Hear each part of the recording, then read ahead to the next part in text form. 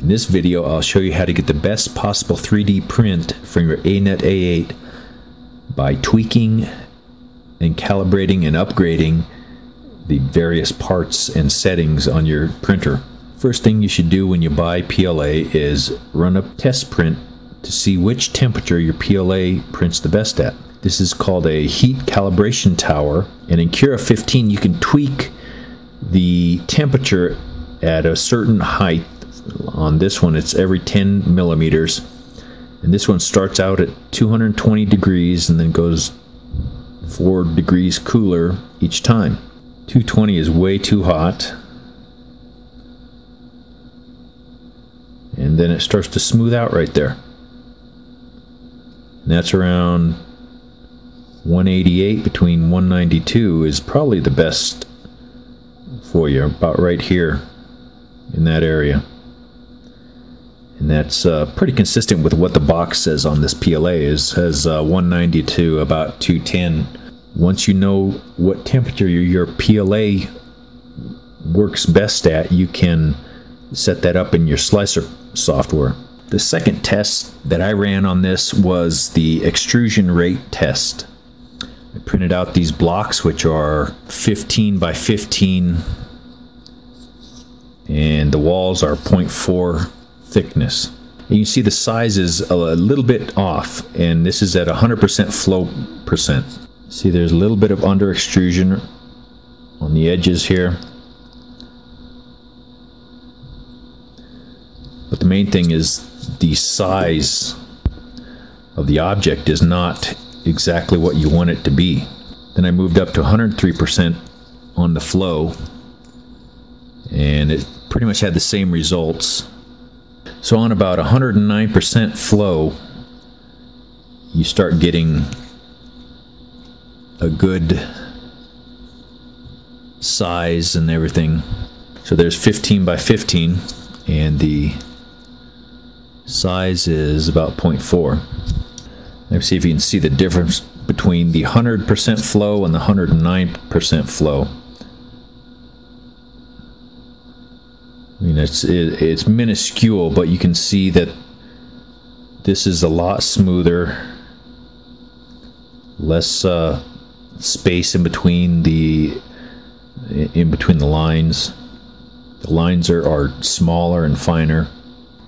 You can see where the glare is. The differences in in 100% flow and 109% flow. So I set my flow in Cura to 110 and that seems to give a very, very good uh, flow rate. So the third thing to consider when printing is your bed temperature. If your bed is too hot, then the edges of your print will curl up and, and then it will pop off your bed sometimes. You see on this print how the edges kind of rounded on this. Right through here you can kind of see that the print melted, the edges melted and lifted off the bed in the middle of the print, but it's still stuck enough to finish the print. That's because my bed temperature was too high. The bed temperature has to be less than the glass transition temperature of PLA. PLA has a glass transition temperature of 60 degrees Celsius to 65 degrees Celsius, and I had my bed set at about 64, and so it melts the edge. Third tweak I would do is a glass bed. You can go to Lowe's or Home Depot and get a piece of two millimeter glass for under three bucks. Have them cut it for you at a 22 by 22 centimeters. You can also purchase borosilicate glass online on eBay. Uh, cheapest I've seen was around $16. Borosilicate glass is the stuff your mom's Pyrex bowls are made out of. I've had no problems with this being heated up to around 59 to 60 degrees Celsius without it uh, cracking or anything like this. And this is just regular window pane glass from uh, from Lowe's. I'll show you how I set my glass up. Take a microfiber cloth and 25% uh, solution of rubbing alcohol, rubbing alcohol and water. spray your microfiber cloth and clean your glass. Go to the Dollar Tree store and buy yourself a generic bottle of hairspray. This is a 5.5 ounce, the purple and gray. While you're at the Dollar Tree store, pick up a 12 pack of these uh, binder clips used for holding papers and files together. You'll be using these clips for the side of your, you put one here, one here, and two back here because I don't put any on this side because that's where this nozzle comes in. So you want this side clear. First shake your hairspray up and then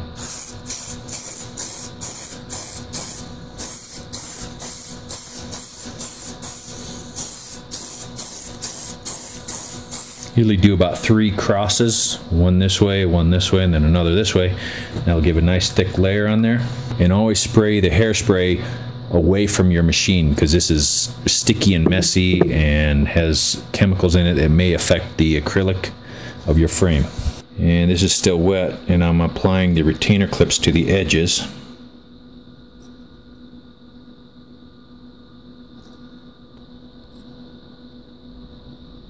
Turn your printer on and preheat your bed once your bed reaches the preheat temperature, let it sit for about a minute to evaporate all the water out of the hairspray. And the fourth upgrade you can do is print off this pulley cover for the y-axis. It has a toothed, you can see the teeth here, and it goes over these ball bearings. Then I also printed off a toothed pulley cover for the x-axis, but this is a lot not as wide as the y-axis because it wouldn't fit in between here. And using these toothed gears will help to reduce the the rippling. The ripples in this plastic come from the teeth on this belt going over the ball bearings. This this was printed before I put these gears on. The higher the temperature, the more the ripples are exaggerated in, in the print. So any vibration, even this ghosting of the numbers, that's vibration in your frame or vibration in your belt. And the hotter your your temperature is, the worse your rippling is going to be because the filament is going to be more flexible for a longer time you're going to have more ripples and, and ridges. You can also buy these online and they're made out of metal for the ANET A8. I don't know how much they are. Another tweak that you must do if you're not using auto bed leveling is get an, a, a Z fine tuning, fine adjust setup.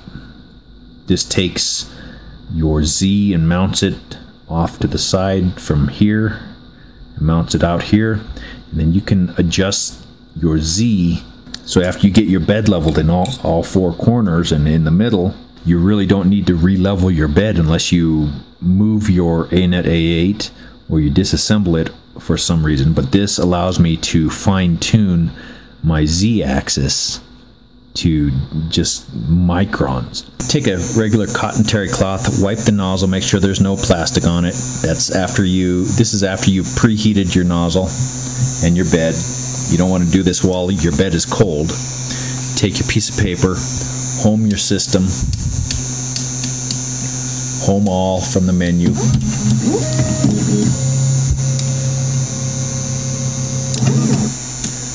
Then disable the stepper motors. Move this forward so you can slide this in. And see the paper is a little bit tight, but not too bad. Could use a little bit of adjusting.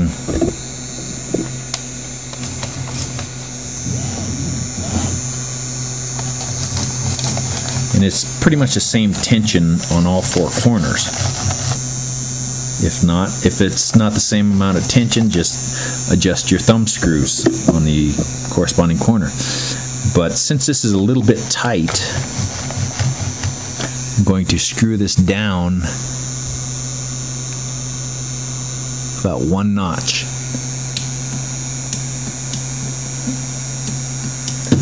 rehome.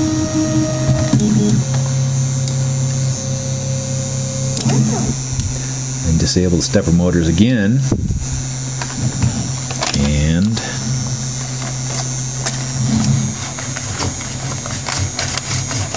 it's a lot looser now. On this mod, I modified this bracket because my nozzle sits very close to the extruder gear and the uh, pulley. So this had to come down five millimeters for this uh, Z switch to even allow my nozzle to get close enough. I didn't have to go out and purchase any hardware, extra hardware, because I just used all the screws that uh, were extra with the uh, printer. On these, these are 30 millimeter screws. I had to put a nut on the underneath of them because they would not, uh, they couldn't go deep enough to hold this bracket on. So putting a nut on there and then screwing them in worked fine. This is just a 30 millimeter screw that came with the printer. The sixth mod I did was this air nozzle. Um, I've tried two nozzles pretty much like this. One was unmodified and was too long because this nozzle sits all the way up against the extruder pulley like I said. There's a short nozzle on Thingiverse that I tried but that was still too long. So I went into Tinkercad, imported this STL into Tinkercad and took about two millimeters off of that original uh, short nozzle and this gives me uh, maybe about two millimeters clearance on this. And one of the last mods I did was this filament guide. And this keeps your filament from going in cross, you know, at an angle and chafing on this hole on top of the extruder. So regardless whether it's going back and forth, left and right, this filament will go straight down into the hole. So if you have bits of your filament on top of your extruder, that's because your filament's going in at an angle and hitting the side of this hole and getting cut. So this is the upgrades I've done to my ANET A8 so far to make this thing print a lot better and a lot smoother. I have a Raspberry Pi 3 on order so that I can run Octoprint and I don't have to keep my computer online all the time when this thing is printing and I don't have to keep inserting and ejecting a SD card every time I want to print something.